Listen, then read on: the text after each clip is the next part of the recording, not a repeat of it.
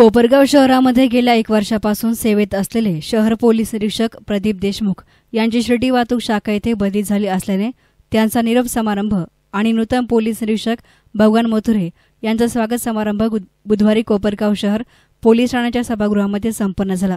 याप्रसंगी नूतन पोलीस निरीक्षक भगवान मथुरे यांनी पोलीस निरीक्षक प्रदीप देशमुख यांच्याकडून पदभार स्वीकारला आहे. पोलीस निरीक्षक देशमुख यांचा पूर्ण कार्यकाळ उल्लेखनीय ठरला असून त्यांनी पदभार स्वीकारला. त्यावेळी कोपरगाव शहरातील सामाजिक वातावरण बिघडून कायदा आणि सुव्यवस्थेचा प्रश्न निर्माण झाला होता. अशी परिस्थिती सुद्धा प्रदीप देशमुख यांनी अपुऱ्या मनुष्यबळावर काम करत कोपरगाव शहर शांत ठेवण्यासाठी प्रयत्न केले होते. यावेळी उपस्थित पोलीस अधिकाऱ्यांनी देशमुख यांच्यासोबत काम करताना आलेला अनुभव सांगत पोलीस निरीक्षक देशमुख यांच्या स्वभावाचे आणि अनुभवी असल्याने त्यांच्या कार्याचे कौतुक केले. याप्रसंगी निरप समारंभासाठी शिर्डीचे पोलीस उपाधीक्षक शिरीष वमणे यांच्यासह कोपरगाव शहरातील प्रतिष्ठित नागरिक पोलीस पाटील पोलीस अधिकारी कर्मचारी होमगार्ड मोठ्या संख्येनं हजर होते.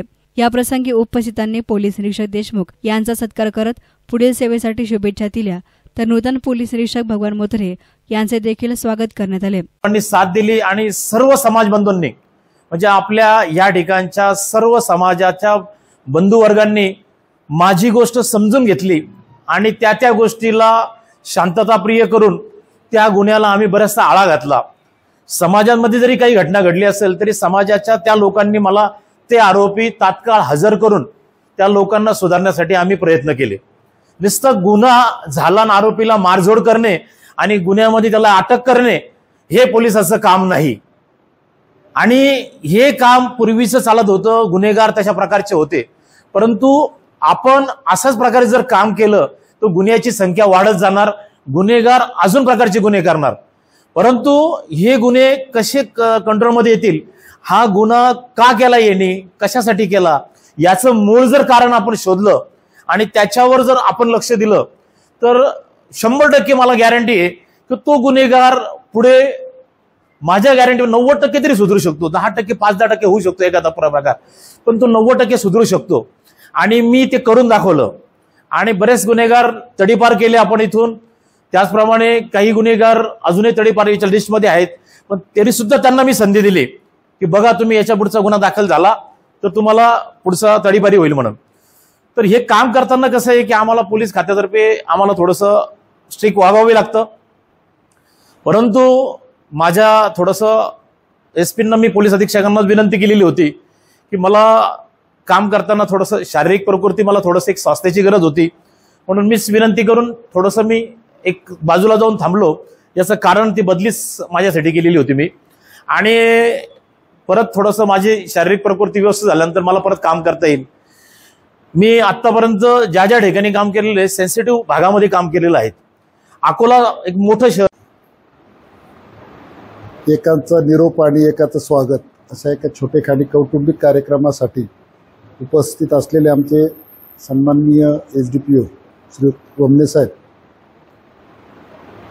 त्याचप्रमाणे माझे मित्र आहेत बंधू आहेत प्रदीप देशमुख कोळी साहेब आहेत कलिग ऑफिसर्स आहेत ठोंबरे साहेब असतील पवार साहेब असतील पवार साहेब असतील.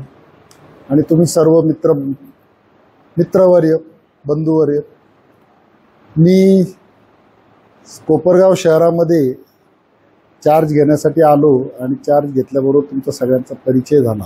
आणि आता हा एक चांगला आपल्याला योग मिळाला एकमेकाशी बोलण्याचा. माझं असं एकच म्हणणं आहे मी काम करत राहील तुम्ही माझ्यासोबत येत राहा.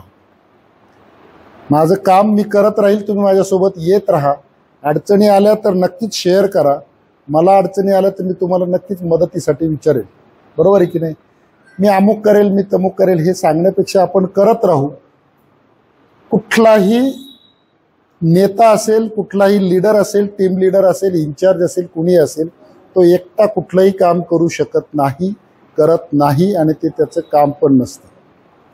मी माझं काम करताना माझ्या सर्व टीमचं माझ्या पोलीस स्टेशनच्या सर्व सहकार्यांचं मी सहकार्य घेणार.